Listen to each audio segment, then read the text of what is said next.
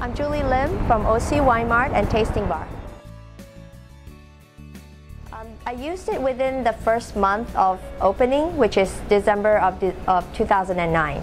The main selling point was that it was affordable and it would uh, get me on the first page of Google in a short time, short amount of time. Uh, my business has grown steadily um, since we started using Local Splash and people come in every day finding us on Google.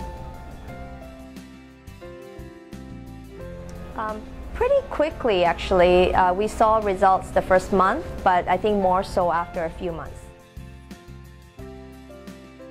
Uh, yes it is. It's uh, first page for wine, craft beer, beer, liquor store, and most recently cheese. Um, we have a strong listing on Yelp. Um, we also advertise occasionally with uh, electronic coupon companies like Living Social or Groupon. I like the representatives. They're very helpful and friendly and responsive.